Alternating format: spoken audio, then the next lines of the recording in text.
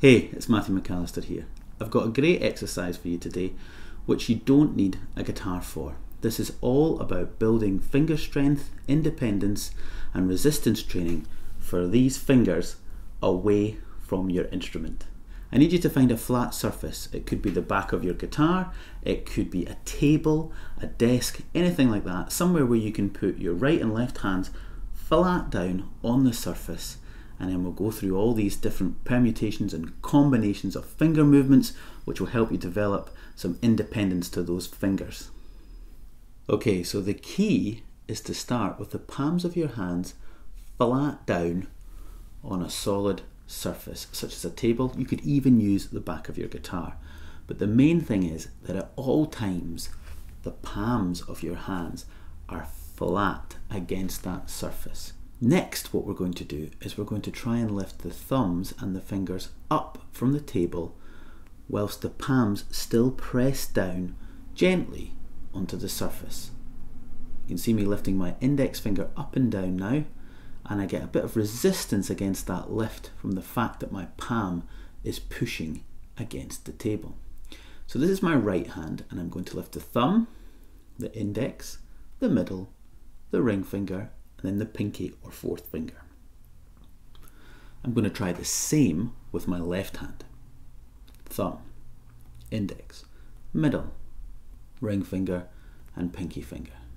As I'm lifting up, I can feel a bit of resistance, especially in that third finger, that ring finger. It's hard to get much clearance from the table whilst that palm is pushing down against. And what I'm doing here is I'm asking each finger to respond individually, lifting up and placing down one at a time.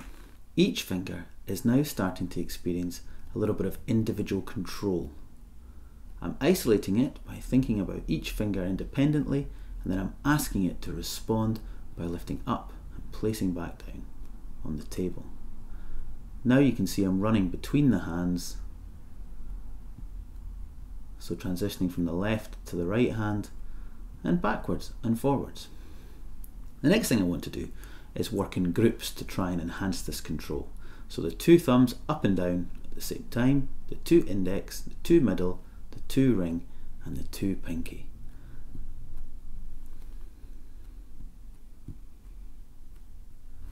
Trying to do this combination work between the two hands is definitely tricky trying to get both sets of fingers to lift up and put down at exactly the same time in both hands, all the time, while the palms keep putting pressure onto the surface. That's what creates the resistance.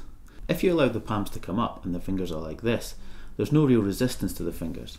What we're trying to do here is to try and train the fingers to move independently of that bit of resistance.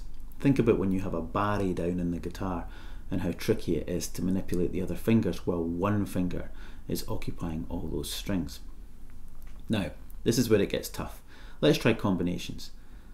P and M, I and A, M and C, I and A, P and M. Next hand, going across.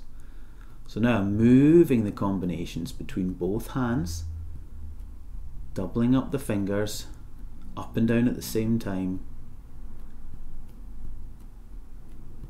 And now probably the hardest one is to go between.